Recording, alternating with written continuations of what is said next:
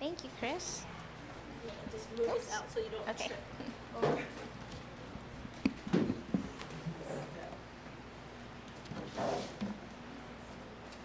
Um, good morning, everyone. I'm thrilled to be able to be here and teach this week for you. And um, I do recognize some faces in the class too because I got to teach in an Awaken DTS, and so I recognize some staff and students. So if you're from that school, will you raise your hand? I've seen some of you around campus, but yeah, it's good to see you again, and I look forward to reconnecting with you guys as well.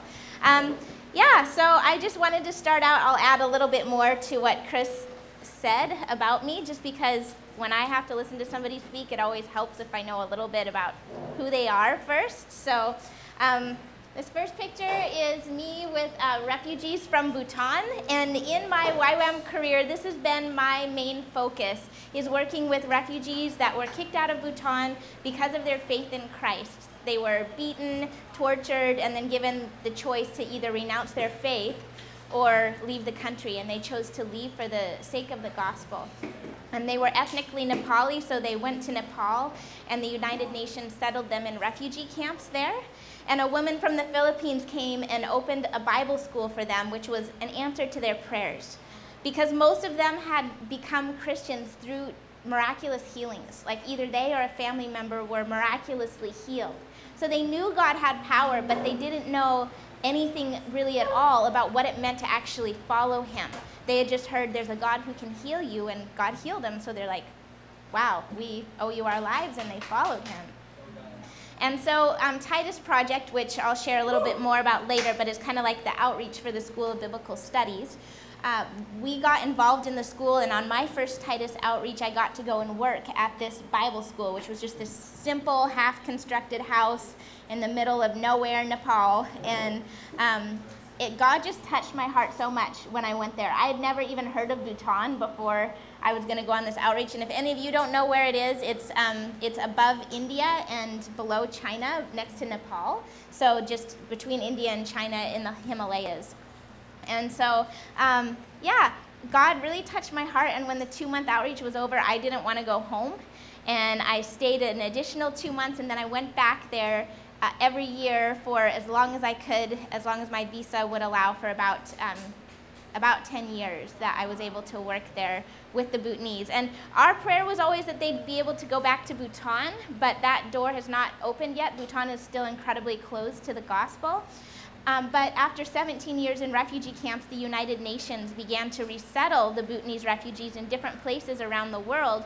And now most of the families that I worked with are now living in some, many in the U.S., some in Canada, and some in other countries around the world. Like this particular family, this is one of my very favorite families, um, Kisan and Esther and their kids, but they now live in Oregon and are pastoring there. And it's so great because they were all pastors and leaders within the refugee camps, and now they're pastoring and leading congregations of Bhutanese and Nepali people in the nations that they have been resettled in.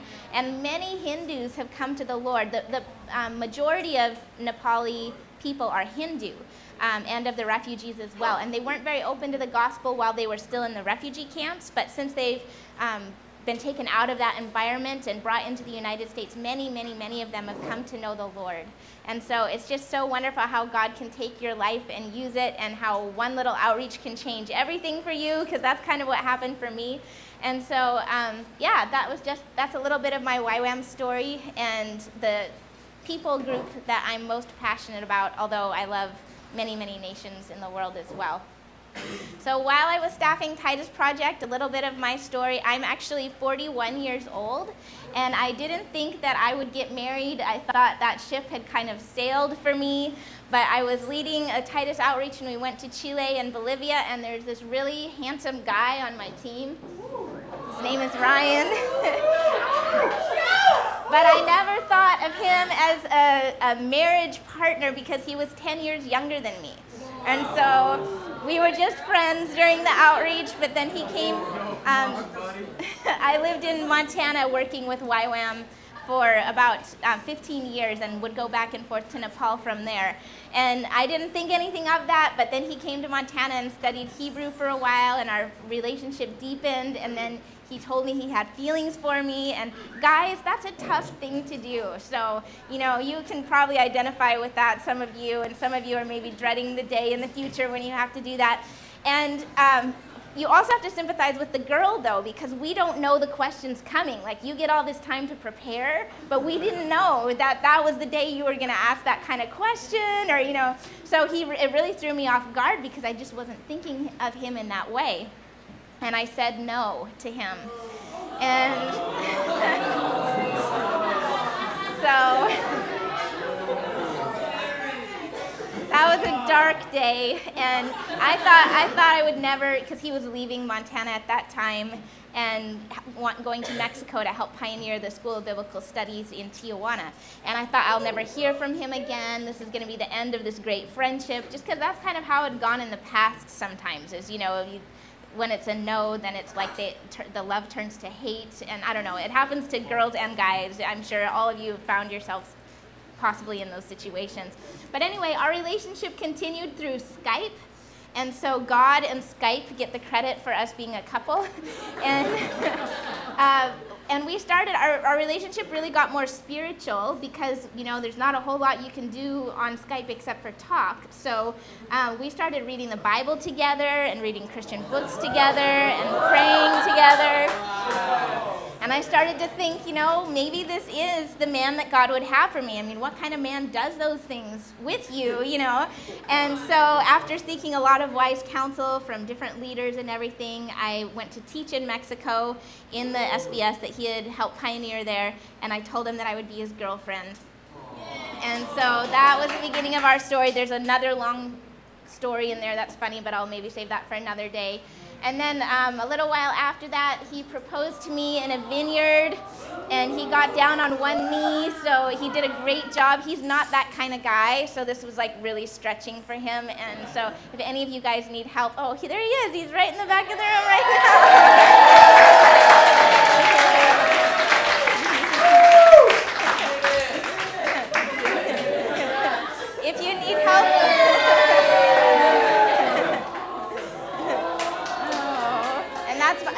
Little baby Jude. We didn't get to that part of the story, but that's the best part. So, um, so yeah, if any of you guys need help with um, proposing to the ladies, you know, you can talk to Ryan. Last year when I came, several guys who were dating other girls, also older girls, also sought us out for counsel. So if you find yourself in need of something like that, we can give you wise counsel. but I would just say to you, never tell God no. Don't tell him I'll only marry this kind of person or I would never marry that kind of a person because God knew what was right for us, and Ryan is exactly the right man for me. And I, if I had just had my preconceived ideas, I would have missed what God was doing. So listen to the Lord. We got married in Montana in um, June of 2013, so we're coming up on three years. I know I was a lot skinnier then. I need to get back to there, but. um, and then this is our families, and also, he's gonna hate me for doing this, but Ryan's twin brother Taylor is here mission building right now, and he's single, ladies. so, um, yeah, you, he's right here. but, um, yeah, if you, if you think Ryan's pretty cool, there's actually a second chance out there for a guy as cool as Ryan, so. Um, and his dad's actually here too, helping to um, redo the campus pool. So I don't know if that will get done in time for you guys to use it, but um, they're pool builders by trade, and they've just come to lend their expertise in, in that project. And so it's great that we can be here together, um, kind of as that part of the family. then in my family, um, my unique part of the story is that I am the oldest of five daughters, and all of us have done DTS and SBS.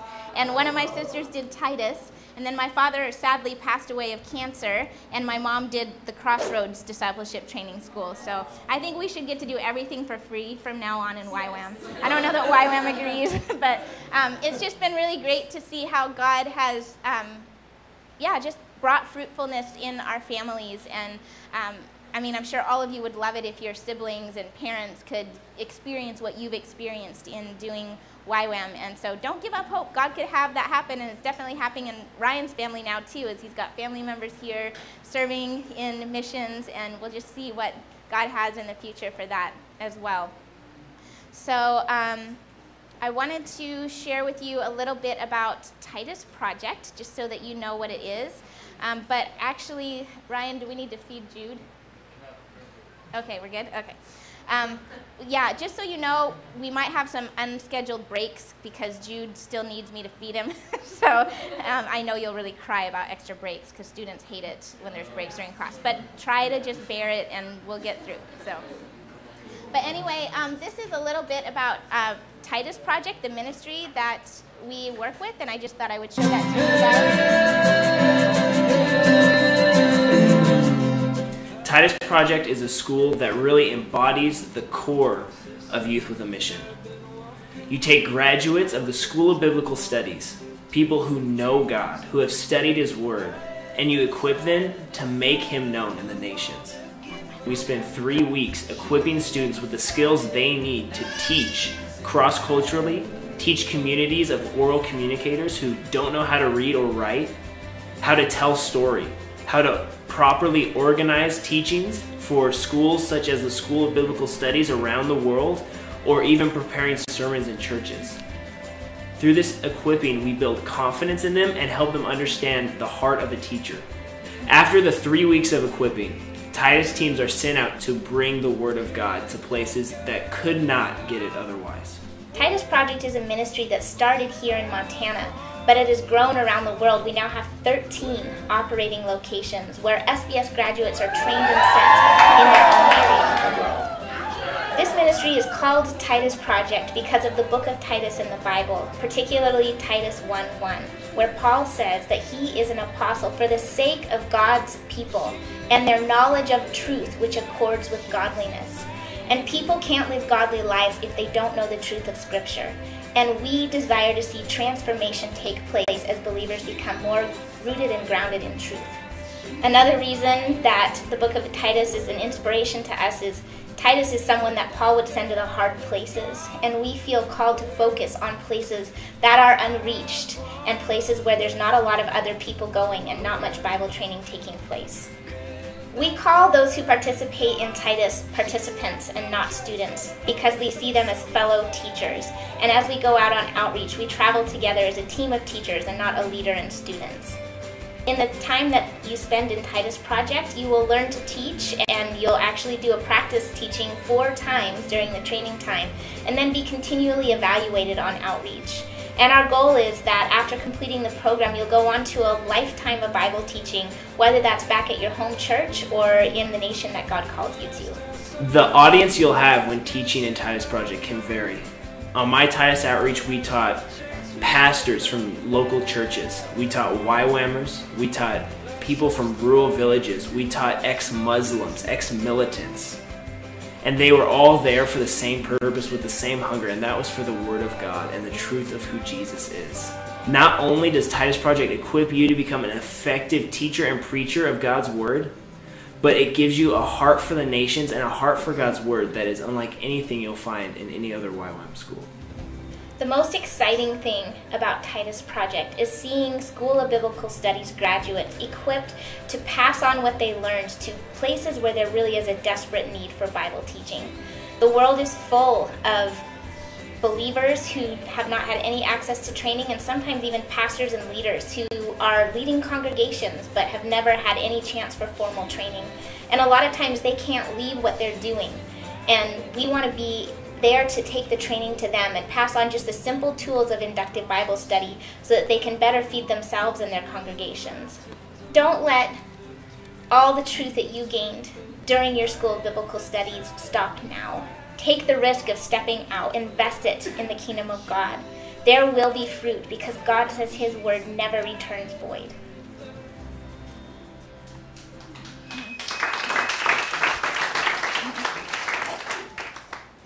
Have just loved being able to work with Titus Project. And it's actually a miracle that I do because I hated school growing up and I particularly hated teachers. I had some really, really bad teachers that made me, I couldn't even imagine teachers were really people that they like ate food and had families and stuff like that. To me, they were just like evil creatures that lurked in the school.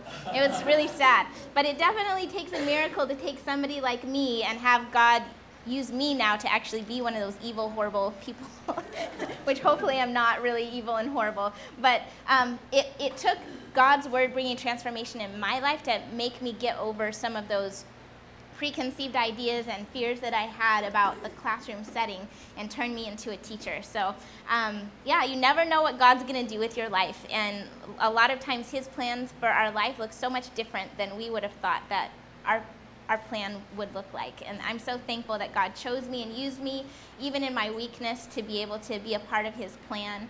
And so, if any of you guys do end up going on after this, which I would highly encourage you to, and um, do the, the nine month school biblical studies, you're going to be like the star students if you do that because you're getting so well equipped here in DBS.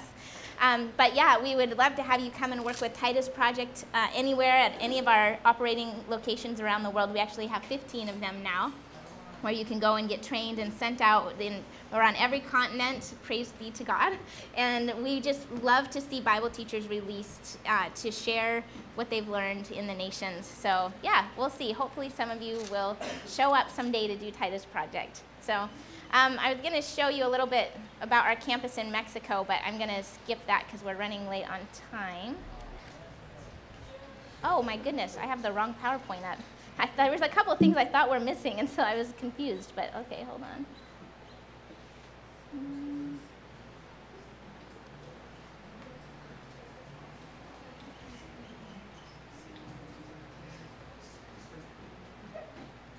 Okay. So now we're going to switch gears and start to think about the prophets again. And so last week you guys started the prophets, right? Was that your first week in the prophets? Had any of you guys read the prophets very much before coming to do DBS? Yes.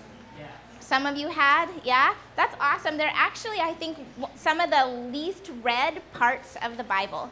And that's because they're very misunderstood. People don't feel comfortable reading them because honestly, it's kind of depressing a lot of it. And then they feel even less confident to even teach or preach out of it. So I feel like the prophets have been pretty neglected by the church. And that's something I'm really passionate about seeing change.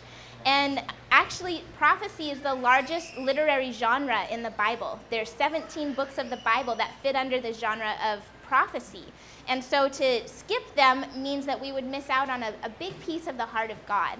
And of course, we never want to miss out on a piece of the heart of God and how He has revealed Himself.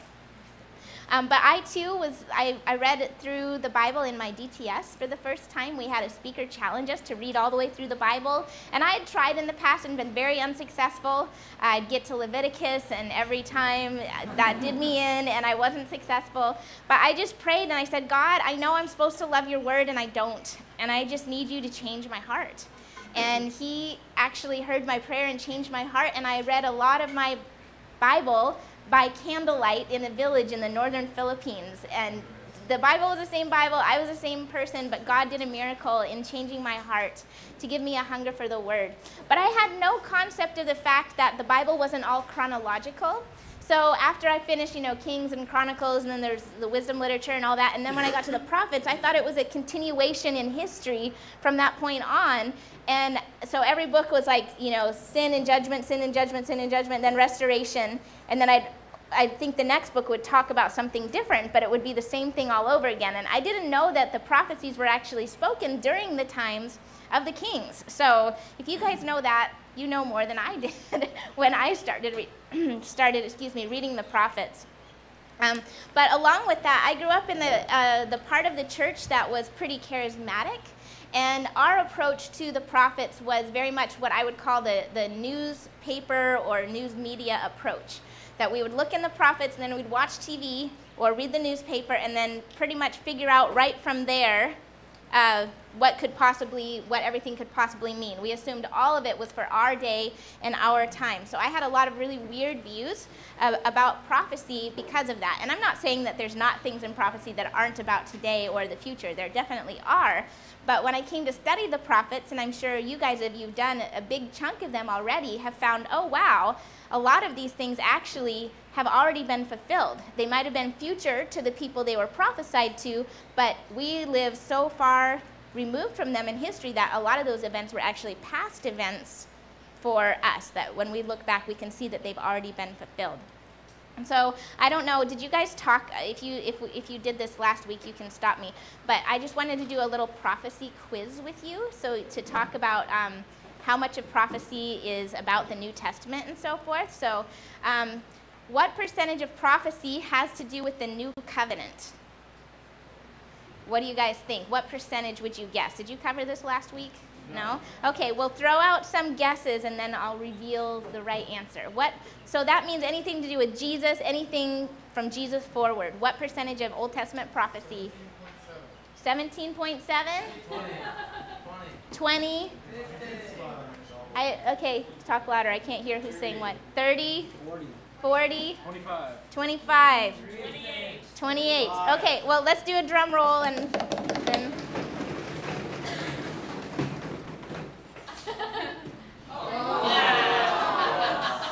It's actually less than 5%. You know? Isn't that crazy? Somebody was right on the dot. Who was right on the dot? Anybody? Wow, good job back there. I forgot your name. Stephen. Good to see you, Stephen. So anyway, um, yeah, less than 5% of what we read in Old Testament prophecy actually has to do with the new covenant, like things, you know, in the time of Jesus forward. And that was a really shocking thing for me to learn.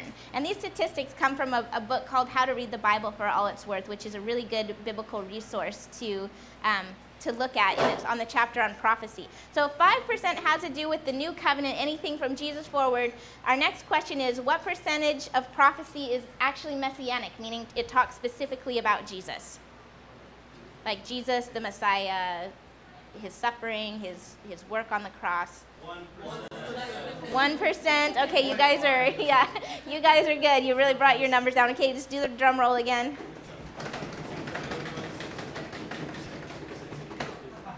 Less than 2%. Your accuracy is greatly improved. So, yeah, that's only only less than 2% actually has to do with with Jesus as the Messiah. And then finally, our last question is what percentage of prophecy is still unfulfilled? Like, like we're still waiting for the prophecies to see the fulfillment. How much? Less than three. Less than three. Anyone else? Less than one. Less than one. Yeah, that's actually the right answer. I won't make you do the drum roll, but um, yeah, less than one percent. So you guys, that that that that needs to help change our thinking on prophecy. That when we read it, yes, there's things unfulfilled. Yes, there's things about the new covenant in there, but we shouldn't do what I grew up doing, and that is thinking that all of it, like 100%, has to do with our time in history or in the future from us because by doing that, we miss out on one of the main things that we need to know as we do inductive method of Bible study is in interpretation, do we ask, what does it mean to me? No. no what do we ask? Yeah, what did it mean to them, to the original people it was written to? And prophecy doesn't have meaning for people if, if it's completely like for something thousands and thousands of years past their lifetime. Now, some of those things are, but the majority were things that the people that these prophecies were written to saw at least partial fulfillments of in their own day, or it was fulfilled shortly after the lifetime of the prophet. And just knowing that really changes our approach. And then we want to look more at um, biblical history or even secular history to see kind of some of the fulfillments of things that we read in the prophets. And that's going to help us have a greater understanding of what the prophecies actually mean so that we can apply them to our lives because they still are for us. God wanted us to read them. That's why He included them in the Bible. But we have to have an understanding of what it first meant to the original people it was written to before trying to apply it to our own situation. So um, break is usually 10:15 or 10:30. 10:15. Okay, great. We'll shoot for that. All right, let's get into the book of Jeremiah then and um, talk about Jeremiah. He's known as the weeping prophet. And how far have you guys got in your reading of Jeremiah?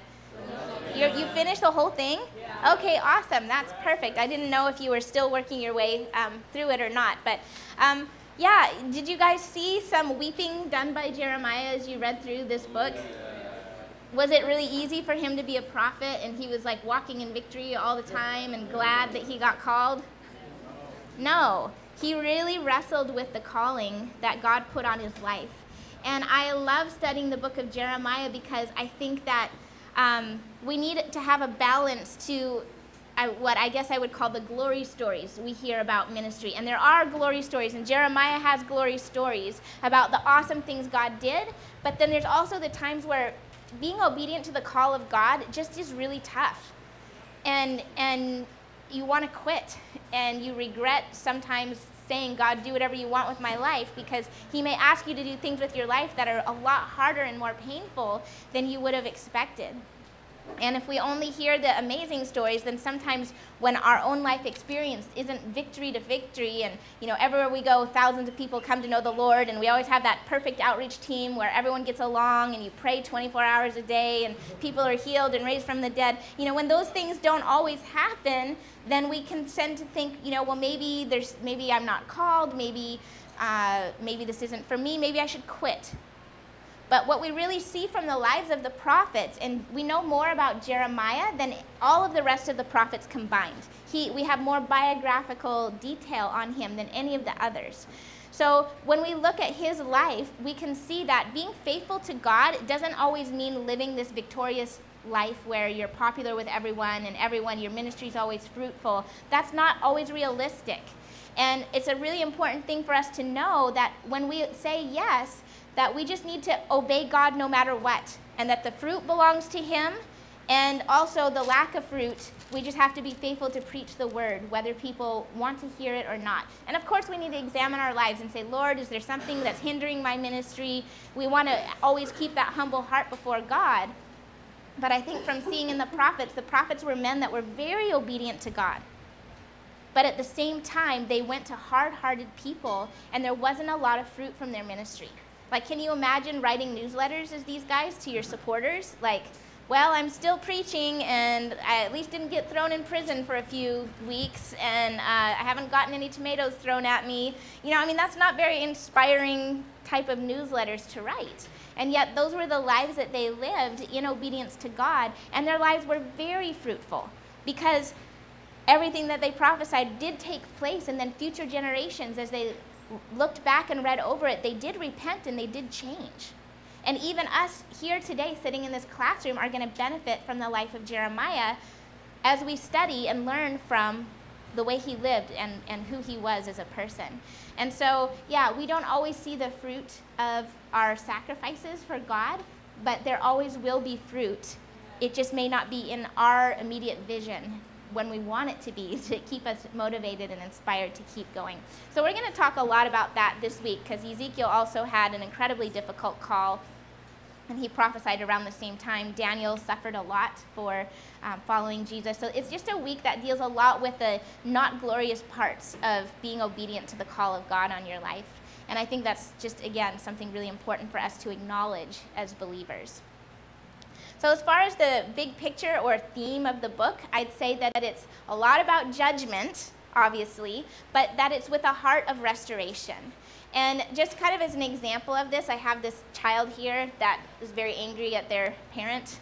and, um, you know, right now our baby's like not even a year old, so we don't have rebellion to deal with or anything like that. But a good parent, and there are bad parents, obviously, but just speaking about a good parent, a good parent would want to um, discipline bad behavior out of their child out of love for the child and because they don't want that bad behavior to hold their child back.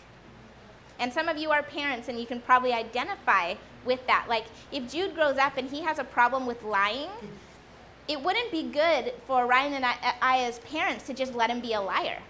You know, because that will destroy every relationship that he ever has. You can't trust somebody who lies, and without trust, you can't have a relationship, right? So if we would discipline him for lying, it's not because we're like, oh, you're a worthless kid. It would be, no, we love you, but we want to see this bad behavior cleansed out of you for your own good. And with God sending judgment on his people, it's with that same father heart that he's not wanting to reject his people or he doesn't want them to be his people anymore. It's that he wants to cleanse them of these things that are inhibiting them from being who he created them to be as the light to the nations and his chosen people. And what we'll see, this, this book and everything we're going to deal with this week talks about the, the exile of, of Judah and the fall of Jerusalem.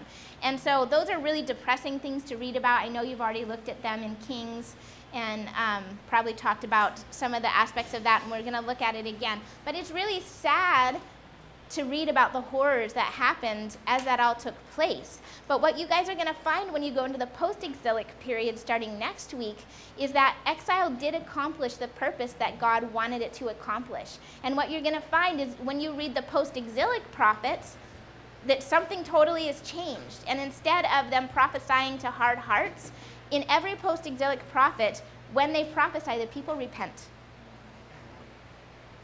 And that's a beautiful thing. They, they learned from exile, and a lot of them never even came back from exile. They just got lost among the nations and never chose to come home. But those who did return from the exile came back with a heart of really wanting to serve God and really wanting to be true to Him. And so they didn't struggle that much anymore. We don't read a lot about idolatry or immorality or the main, some of the main things that we see as being the struggle of the Jews up to this point. Wouldn't you guys say you've seen a lot of them struggling with that up till now? Well, you're not going to see a lot of that post exile. In fact, even going into the New Testament, we see them facing a different struggle, and that's the struggle of self righteousness.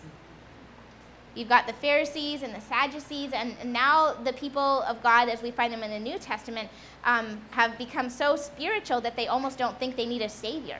And so their pendulum almost swings all the way to the other side from going from just like being, you know, idolaters, not even worshiping God, to instead thinking they're so holy that they don't even need God. So there's a lot of transition that takes place in this time, and exile did accomplish the purpose that God wanted it to accomplish. And so, um, yeah, just keep that father heart in mind as we go through this. And so, um, what we're going to do now, just before our break, is I'm going to have you guys do a little workshop on chapter 2. And um, what I want you guys to do is, is get with at least one other person. It can just be your table, or if there's too many of you at your table, um, just get with at least one other person. And I want you guys to look through chapter 2. And chapter 2 is kind of a good summary of the whole message of Jeremiah. But I want you to go through and, and and within this chapter, you will see represented the major sins that the people are being condemned for through God, by God through the prophet Jeremiah. So what I want you to look for is what are the main sin categories that you see represented in chapter 2. Does that make sense? All right, do that together, and as you come across different things, write it down and then try to categorize it into um, a couple categories of different, different sins that the people are being condemned for. All right?